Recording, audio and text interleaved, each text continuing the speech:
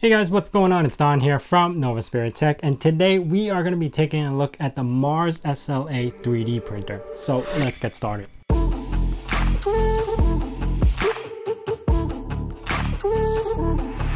Elegoo was nice enough to send me this 3D printer as a product for a product review, and that's what I'm here to do today. Now, I always wanted an SLA 3D printer, and I wanted one for a very long time, but I was a little discouraged because there was a lot more things you need to do than a standard filament 3D printer. Here's a disclaimer. There's a dis disadvantage and an advantage to this. Disadvantage is that I am new to SLA printing. Um, all my knowledge actually just comes from Sexy Cyborg and Maker Muse. So I got a good idea on how to operate and run this guy.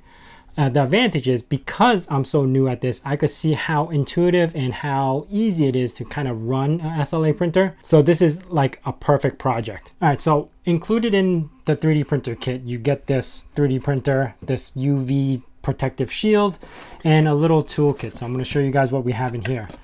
First, you start off with uh, gloves. It gives you like a handful of gloves. You, you definitely want to pick up more gloves. A little cup. Uh, the AC-DC adapter for the guy, Allen wrench, more Allen wrench with screws, probably to hold the board up. Uh, we got snips, which if you got 3D printers, you probably have all these tools ready.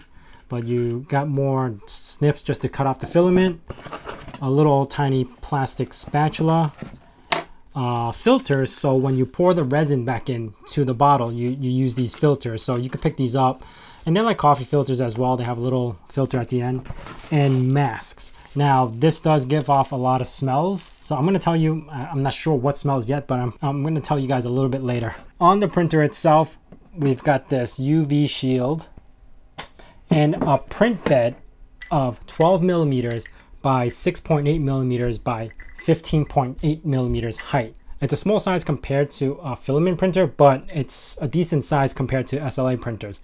The resolution on this guy is actually really high. It's a 2K LED screen underneath this. So you get a resolution of 0.047. Now this guy's not light. This is all made like metal chassis and everything. So it's like about 11 pounds according to the book, but it is pretty heavy. So right now I can't install this yet until I lift this up. So I'm gonna power this guy on and let's see what the screen says and all that stuff. So on the back, you actually have the power outlet and also a USB. So you can stick the USB um, G code and stuff like that in the back. They do use their own software to take the G code or take the um, STL and then convert it into their code for their box. So you're gonna have to use their software for this. Okay, let's power this guy on and let's see what the screen says. It's got a pretty loud fan noise going on. You got tool, system, and print. So according to the instruction manual, what I'm supposed to do is actually lift this guy up. So I'm going to do that. So I'm going to go into manual and lift it up by 10 millimeters. Just enough to kind of get it up. Let me get the Allen wrench ready just so I could tighten it up to level the bed. And they give you a lot of extra ones because I think I see them in here already. Yeah, they're, they're in there already. So how does this work? Oh, also, it's a ball mount inside. I see how it is. So basically, you loosen up this to kind of loosen up the ball to allow the bottom to like free form. That's how you would level it. Slap this guy on. Okay, tighten this up so I know it's not going to go anywhere. And kind of, I would say, lower this guy, they said. Oh, there's this... There's this switch right over here to the right, or to the left. And that kind of gets it to the bottom. Now, I need to center this platform to the LCD underneath. Hold this down. And then basically tighten this up. And that's it. That's all you have to do to level it. So I'm to tighten this guy up. Alright tighten this one up as well. I can't really see. Yeah, seems to be pretty good. So that's level. It's touching the bottom. And that's basically it. I think I had to move this up 100 meters before it prints. So I'm to move this up 10 times. So select 10 millimeter again. All right, this will give me enough space to pour the resin in there. So I just gotta make sure that there's no debris. So I'm just gonna take a little microfiber towel and kind of like pick up all the stuff that's underneath that might have fell in there, like styrofoam. Make sure I tighten up this bed so it doesn't move around, right? Is that how it works? Now to test, uh, I'm gonna get out of this menu, go to exposure, change this to three seconds. Let's delete three, hit enter, and then next you should see a rectangular in there and if it does then you're good. All right we tested out the printer. Seems like it's flashing everything that it needs to. And next up is to pour the liquid in and print. All right so we are finally done. It definitely took a little bit longer than i expected and i ran into not really issues but uh, more of time constraints. All right so i originally was going to print what they gave me on the file which was actually two of these big rook looking like things. And then as soon as I saw that it was going to be like three hours, I was like, okay, let me step back a little, change the model. So I ended up using the software, remodeling and printing out a brand new model for the Rook, but a lot smaller. So I started working on that, got that through, and then realized it didn't matter how big the surface was. It, it was the height that was the time. So this ended up to be about an hour and a half. Even though it's faster than that, it, it didn't matter how big it was. So I ended up printing a smaller print. Let's get started and take this out and see where we're at with this. So let me put my face mask back on. Uh, to be honest, it doesn't smell too bad. I think it keeps, it does a pretty good job at keeping the um, the smell away. It does have a fan. It's not obnoxiously loud, but it is loud. So here I am. I'm gonna take that off and we're gonna do the takeoff process and the cleaning process basically. So I'm gonna see how intuitive this is. So far I'm enjoying it. It's not it's not hard. It's not difficult to run this machine. And for a beginner like I have no idea what I was doing for SLA printing. I was able to manage to get this going so it's not too bad. I purposely got this like baking tray because this actually fits like you see I could just lean it off and it'll sit there now, next thing I do have is 91% uh, IPA. Anything above 90% should be able to remove the resin off the uh, mold. So that should be good. The quality on this thing is insane. There you go.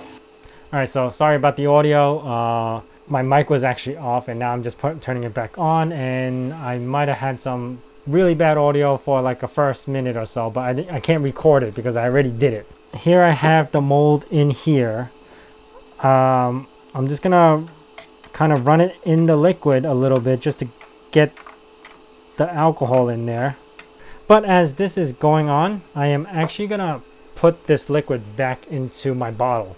So let's move this off to the side. I'm gonna let that sit in there for a little bit. Alright, as I'm doing this, I'm just to explain what my thoughts are and what my feelings are about this. As far as my thoughts on this, as a beginner user or a very novice user, um, I didn't know about the height thing, but now I do, and it's pretty interesting. So I can now figure out how big of a print I want, just depending on how I want to angle it with the height. That's what determines how long this is going to take. Uh, in particular, I think it's all SLA printers you can't tell if it's stuck to the build plate until like almost half an hour into the print because that's when it starts lifting out the liquid and you can kind of peek in there. So that was a little concerning in my part because I didn't know if it was gonna actually print or not print or I have to redo stuff. Uh, I'm gonna turn this off as well because I'm done printing and I don't need that extra noise. Also, I was very intimidated at first to be playing around with this, but overall, as long as you know where to handle the liquid and don't get in your uh, face, eyes, and all that other stuff, it's not too bad. So right now there's like that little filter. I'm just pouring it back in so there's no debris that go back into this liquid because you can always reuse this. All right, next uh, my thoughts is uh, it prints really high quality. Like this would be good for uh, those little figures like from Monopoly and stuff. That's really good. Jewelry, stuff like that this could print in high quality uh, gears stuff that you need like precision but as far as like big print or mass print this is slow i, I thought it was going to be fast than 3d printing but it is a very slow printer also this tray has a little notch that allows you to pour this out. So I'm not having a hard time pouring this out into here. I just got to make sure it's slow. This way it doesn't overfill past the paper. All right, as far as cleaning this stuff off, I'm figuring that I got to get the liquid out as much as possible, then probably wipe it down with alcohol just to keep it clean, which that's what I'm going to do next. Using the software was pretty easy. I was just able to load the new model in there and save it and it turns into a file that this thing could read and it was very easy to use.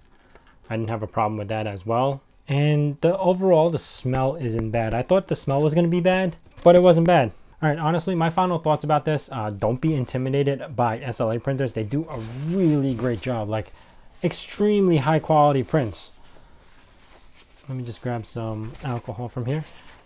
Um, slow, but it does really good. Uh, aligning the bed on this guy was pretty easy. Um, I thought it was gonna mess up 9,000 times really because it, there wasn't really like a way other than tightening Allen screws to to level the bed. But no, it was actually just push it down, tighten the screws, and you're done. And it was pretty easy. I, I had to level the bed twice. First time for the first print that they that I was doing, and the second time for this new tinier print and I didn't have a problem leveling the bed at all. You're gonna notice I actually am using a tray.